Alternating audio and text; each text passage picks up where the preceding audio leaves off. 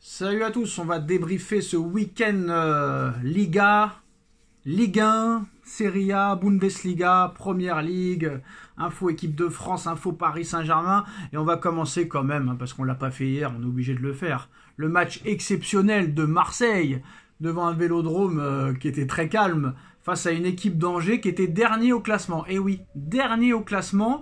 On nous explique euh, que cette équipe va jouer le titre, hein, l'Olympique de Marseille qui va jouer le titre de champion de France, parce qu'apparemment le Paris Saint-Germain est nul cette saison, que tout le monde est nul, et comme eux, ils ont gagné à Lyon sur un coup de chance, parce que oui, la victoire à Lyon à 10 contre 11, c'était un coup de chance. Un très gros coup de chance. Et je vais vous expliquer quelque chose.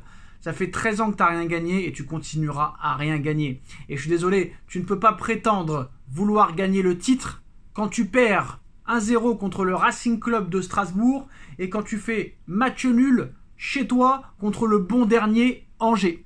Voilà. Ça a dépensé des 35 millions pour Greenwood, des 35 millions pour je sais pas qui, des 15 millions pour je sais pas qui, des 18 millions pour je sais pas qui.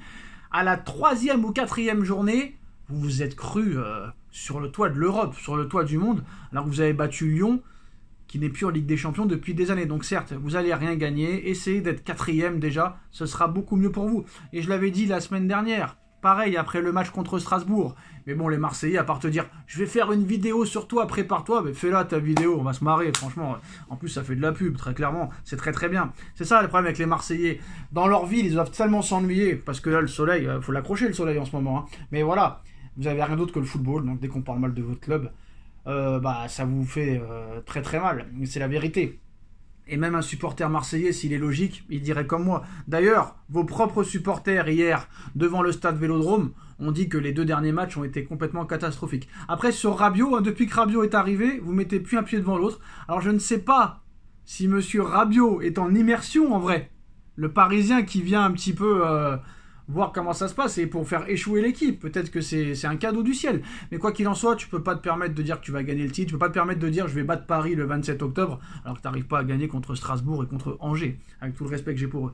Donc voilà, vous avez peut-être gagné le titre euh, du ridicule encore de l'année. C'est la bonne année tous les ans pour vous, mais à l'arrivée, c'est jamais la bonne année. Donc voilà, vous êtes ridicule pour l'instant. Essayez d'être quatrième déjà et ce sera un très grand exploit. Très très grand exploit pour vous. Maintenant, on va revenir euh, sur la victoire de l'AS Monaco. Bah, comme j'ai dit, hein, Nono me croyait pas. D'ailleurs, Nono se cache. Où es-tu? Où es-tu? Je t'avais dit que Monaco serait devant Marseille, même si c'est que la sixième journée. Euh, Monaco est devant Marseille à la sixième journée et Monaco sera toujours devant Marseille à la 34e journée. De toute façon, ce sera, ça va jouer entre Monaco et Paris. Alors je ne sais pas si Paris va être champion avec 100 points d'avance, 10 points d'avance ou 5 points d'avance, ou est-ce que Monaco va les battre, je ne sais pas, mais on sait que ce sera Monaco et Paris ou Paris et Monaco. Après, pour la troisième place, c'est homogène. Ça peut être Lille, ça peut être Reims, ça peut être Marseille, ça peut être Lyon. Ça va être dur, mais on va voir que tout peut arriver. Donc, euh, Monaco, c'est une belle équipe, honnêtement. Hein. Monaco, je pense, euh, peut faire euh, vraiment les troubles faits, peut jouer les troubles faits et peut être plus qu'un outsider au titre de champion de France. De toute façon, Monaco, c'est l'équipe la plus régulière de ces dix dernières années. Hein. Voilà, très clairement ça travaille très très bien. On n'en parle pas assez Monaco, mais ça travaille vraiment très bien, que ce soit les éducateurs, le centre de formation, ils arrivent toujours à trouver des joueurs, les, recruteurs, les repéreurs. Franchement, ils arrivent toujours à te trouver des joueurs alors qu'ils n'arrêtent pas de vendre tous les ans. Et c'est vraiment exceptionnel le travail de l'AS Monaco. C'est un grand club français. Et c'est l'un des plus grands clubs français. Et je pense même que Monaco est un plus grand club français que euh, Marseille et que Lyon. N'hésitez pas à insulter. Maintenant, on va parler euh, de la victoire euh, du Real Madrid. Hein. L'Otin en déficience. L'Otin n'y arrive pas. L'Otin, pas de penalty, égale pas de but. Donc euh, voilà, ce joueur fait plus de polémique que de masterclass sur le terrain. Et je pense aussi à Rodrigo, par exemple. Rodrigo. Il n'a pas joué une minute face à Lille, le gars. Il y a. Mbappé était censé être blessé trois semaines. Et il lui passe encore devant alors qu'il était bon ces derniers matchs. Rodrigo, il marquait but sur but. Euh, combien de temps ces mecs-là vont accepter le rôle euh, du sacrifié et continuer encore une fois à supporter ces, ces, mecs-là? Bref, quoi qu'il en soit, en plus de ça, on a vu que le Real Madrid a perdu euh, sur civière Dani Carvaral qui est sorti en pleurs sous civière. Combien de temps il va être indisponible? Ça, on le sait pas, mais de toute façon, avec le Real Madrid, même quand il y a 12 milliards de blessés, ils arrivent quand même à gagner la Ligue des Champions. Donc euh, voilà, qu'il a, crié de douleur pendant le match hein, en, se, tenant le genou. Ça ne sent vraiment pas bon pour le latéral espagnol. Ça sent pas bon.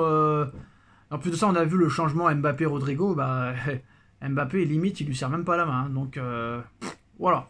Franchement, impatient de voir le Real Madrid, ce que ça va donner cette saison. Je suis impatient de voir le Classico dans quelques semaines contre le Barça. Là, on y verra aussi plus clair. Mais le problème, c'est que moi, j'ai compris quelque chose. J'ai compris que contre les équipes défensives, les équipes euh, qui jouent le même jeu que le Real, bah, le Real, ils ont beaucoup de mal. Le problème, c'est qu'en Liga, ça joue l'attaque à tout va. Donc, c'est du pain béni pour le Real Madrid. On sait que le Real Madrid, avec Carlo Ancelotti, même à l'époque de Zidane, ça attend, ça attend, et ça joue en contre. Et comme les équipes espagnoles, ils jouent à 11 devant, eh ben c'est sûr que tu as des espaces et tu as des caviars pour contrer, très clairement. C'est pour ça que là, tu vois que Mbappé, il est presque mort, parce que dans un championnat comme ça, Mbappé, il doit marquer but sur but sur but sur but sur but. Avec les espaces qu'il y a dans ce championnat-là, t'as pas le droit de donner des prestations comme tu le fais sur le terrain depuis que tu es arrivé là-bas. S'il n'y a pas de pénalty, tu es inexistant. Regardez les espaces qu'il y a en Liga espagnole. Après le championnat allemand, le championnat euh, espagnol, c'est le plus ouvert. Si tu vas vite sur le côté, mais tu peux jouer euh, toute la journée, tu peux marquer 5 à 6 buts euh, en 6 matchs, quoi. Et là, tu vois que le gars, euh, sans penalty, il n'y arrive pas. Puis il ne sert strictement à rien. C'est un autre joueur. C'est son frère jumeau qui joue là. Très clairement. C'est incroyable. Donc moi, je ne sais pas, mais ça risque d'être compliqué pour eux cette, cette saison. Parce que là, ce soir, même s'ils gagnent 2-0, le jeu est toujours aussi inexistant.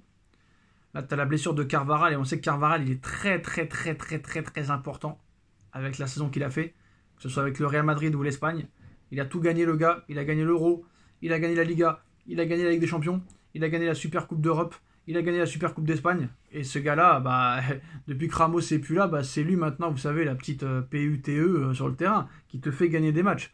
Mais quoi qu'il en soit, le Real Madrid est invaincu depuis plus d'un an euh, en Liga espagnole. 41 hein. matchs d'invincibilité pour les merengues. Les hommes de Carlo Ancelotti tenteront euh, d'égaler le record de 43 matchs sans défaite du FC Barcelone entre 2017 euh, et 2018. lors du Classico, s'ils ne s'inclinent pas face au Celta Vigo, mais je sais pas. Franchement, si le Real Madrid gagne la Ligue des Champions cette année, alors là, je pense qu'il n'y aura plus rien à faire pour les autres équipes. Hein. Voilà, très clairement. Je pense que là, euh, on pourra plus rien faire. Hein. Franchement, s'il y a une année où ils peuvent pas la gagner, c'est peut-être celle-là. Donc maintenant, on verra. Il y a un nouveau format en Ligue des Champions. Mais je vois que Mbappé, comme euh, j'ai dit plus tôt, euh, est un handicap pour cette équipe et pas un maillon fort.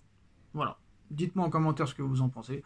Et on se retrouve très très vite pour une nouvelle vidéo et sûrement demain soir après le match Nice-PSG. Tchuss